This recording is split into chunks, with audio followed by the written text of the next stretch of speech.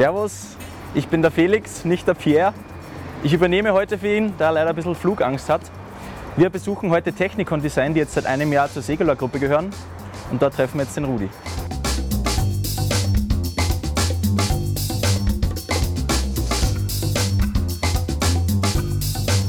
Der Felix, Der Rudi. reinspaziert. Servus, grüß dich. Servus, hallo, Servus, hallo. Da wir seit kurzem ja auch zur Segula-Gruppe gehören, ja, äh, äh, darf ich dir so ein bisschen vorstellen, dahin, wo es wirklich interessant ist. Ja, gerne. Okay, Anne, what are you doing here? Um, here we are working on a XPR project, um, a sports car, of course, and um, we're in the process of developing the volume and the proportion uh, in Alias, which is a surfacing tool. Um, tell me what you would like, and I'll do it. So if this would be my car, Yeah, mm, could you make it like a bigger spoiler? sure. Okay. They always like bigger spoilers. Yeah. bigger? So, hier haben wir den Lucio. Der Lucio zeigt jetzt mal, äh, wie man äh, Felgen auch irgendwie bauen kann in verschiedenen äh, Hier kann man Reifenwechsel am Computer machen. ne? Reifenwechsel am Computer, richtig. Ja. Also der Lucio zeigt dir jetzt mal, das ist äh, Polymodeling, was wir hier sehen. Mhm. Ja, und das ist äh, quasi immer eine zusammenhängende Fläche, ja, die äh, verändert werden kann. Und so, hier haben wir den Martin, auch schon lange bei Technikon. Und der Martin ist bei uns verantwortlich für äh, Felgenmodeling. Ähm, wir machen ja aus 2D-Skizzen quasi, das zeige ich dir später noch, ähm, dann ein 3D-Modell. Ja, habe ich ja auch schon kurz angerissen, das machen wir auch für Felgen. Und da muss man natürlich dann auch immer Package, also ähm, Punkte berücksichtigen, eben die halt eine Felge äh, beinhalten muss, Stabilität und so weiter. Es muss die Bremse frei sein und so weiter und so weiter. Und das ist im Martin äh, hervorragend drin. Für wen ist die Felge jetzt zum das, Beispiel? Das darf ich dir nicht verraten. Ja, ja aber. Ich schätze, das ist auch sehr ein wichtiger ja, und Punkt das hier, genau, das habe ich ganz vergessen zu erzählen. Das ist das richtig- wichtigste, wichtigste Objekt im ganzen Haus natürlich hier. Ich kann mich auf jeden darin verlassen eben. Ja, also wir sind ein hervorragendes Team. Ja, und da ist natürlich auch ein Freiraum, irgendwie, dass man mal irgendwie 10 Minuten Dampf ablassen kann am Kicker. Äh, Wenn beim Programm wieder was gehunzt hat. ja, und dann sind die Leute, äh, ja, und ähm, das ist aber hier eine Umgebung, die ist ja äh, super. Ich will hier auch arbeiten. Ja, da werde ich oft gefragt, wie kommt man dann zur Technikon? Ja, ähm, wir haben ein Recruitment, ein ziemlich großes. Also Technikon hat insgesamt 500 Mitarbeiter ähm, in Wow. den Büchern aktuell. Ja, wir haben hier an dem Standort ungefähr 40. Ja, und ähm, also man kann gerne seine Bewerbung äh, an technikondesign.com schicken. Ja, und äh, man braucht normalerweise in unserem Bereich äh, ein abgeschlossenes Designstudium ja, oder irgendwelche Qualifikationen, die natürlich halt eben zu dem passen, was wir hier tun. Ja. Also ich könnte zum Beispiel schon mal nicht anfangen. Naja, ab und zu braucht man so jemand, der auch einen guten Witz macht irgendwie. Ja, also Wie seid ihr mit, mit Segula jetzt irgendwie in Verbindung? wir, haben, äh, wir sind jetzt seit Mitte des Jahres äh, auch äh, Teil der Segula-Gruppe, eine rein designgetriebene Firma. Äh, Segula macht sehr viel Engineering und so weiter, also kennt ihr ja wahrscheinlich alle. Ja, und um das Portfolio zu ergänzen, äh, wurde Technikon auch in diese Gruppe mit aufgenommen. Okay, was uns gut. natürlich auch sehr freut. Ja. Hier zeige ich dir auch noch was und zwar äh, sind wir hier in unserem Farbmaterialraum. Die Damen sind gerade im Nachbarzimmer. Da siehst du so ein bisschen ähm, auch äh, Studien und so weiter über Farbmaterial. Okay. Da bin ich aber selber gar nicht so aversiert, ja, deswegen würde ich dich dann bitten, dann stelle ich dir gleich jemand vor, die wird dir da genaueres dazu sagen. Also, was wird hier gemacht? Ist das hier die Leseecke? Sieht so aus, genau. Also hier ist unser Farbmaterialbereich. Das heißt, wir haben hier jetzt mal was aufgebaut, das ist ein sogenanntes Moodboard.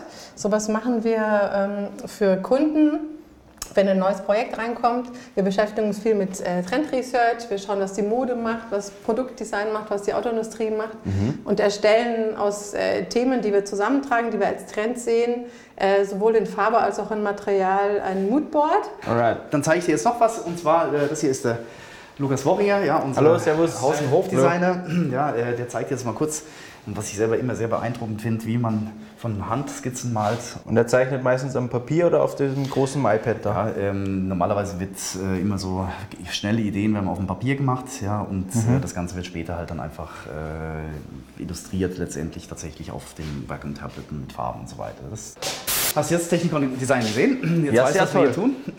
Sehr Danke schön. dir, danke dir. Hat mich sehr gefreut, dass du da warst und dass ich das mal teilen durfte und dass jetzt unsere ganzen neuen Kollegen äh, eben auch verstehen, was wir tun. Freue ich mich natürlich, wenn Fragen gestellt werden, dann auch aus der Richtung. Alles Danke und ebenso. Vielen Dank, dass du da warst. Danke. Gut, bis dann. Ciao. Servus.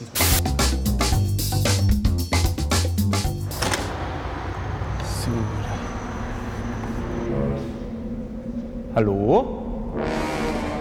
Ja, hallo. Servus, hallo. Hallo. Ich bin der Felix. Ich bin der Martin. Servus, Hallo, servus. Du befindest, du befindest dich jetzt äh, im, im Hauptquartier von Segula EK-Design äh, Österreich und Deutschland. Mhm. Entwicklungsdienstleistungsunternehmen. Und warum, dass du jetzt niemanden siehst und vermehrt verschlossene Türen da sind, wir sind natürlich in einem Bereich, äh, der sehr unter Verschwiegenheit natürlich läuft. Top Secret, also. Was macht ihr jetzt hier da bei EK Design? Kommen wir mal mit. Das Unternehmen gibt es schon jetzt mittlerweile seit, seit knappe 25 Jahren. Ja? Ja, auf verschiedenen Standorten mit verschiedenen Kompetenzfeldern. Wir sind im, im Bereich äh, Design, Entwicklung, Produktservice unterwegs. Sind wir eigentlich dafür- dafür verantwortlich über den kompletten Produktentstehungsprozess. Okay. Also sprich Design, ähm, von der Entwicklung, dann Konzeptentwicklung beginnend über Prototypenbau, Serienentwicklung und darüber hinaus supporten wir auch unsere Kunden äh, im Projektmanagement, Qualitätsmanagement äh, in weiterführender Folge. Also komplette Allrounder. Wir sind komplette Allrounder. Ja. Gut, ja, dann schauen wir uns jetzt mal was an, oder? Hätte ich gesagt. Dann gibt es einen Standort in Köln, die was unterschiedliche Kompetenzfelder haben. Ja. Stuttgart hat, hat unter anderem eben den Bereich Exterra Intera mit Mitarbeitern mit jahrzehntelanger Erfahrung in diesem Bereich. Köln ist im, im eher Elektronikbereich angesiedelt. Da in München ganz, ganz stark verwurzelt ist das Thema Bordnetz, also das ist die Elektrik, die Fahr Fahrzeugarchitektur und natürlich auch Designbereich und Fahrzeugmaschinenbaubereich. Österreich äh, als ebenfalls Teil der, der EK-Design-Gruppe ist prima auch im Automotive-Bereich, Nutzfahrzeugbereich unterwegs. Junge, dynamische Techniker anzusprechen, um das Recruiting zu forcieren, damit wir unsere interdisziplinären Teams für den Kunden bzw.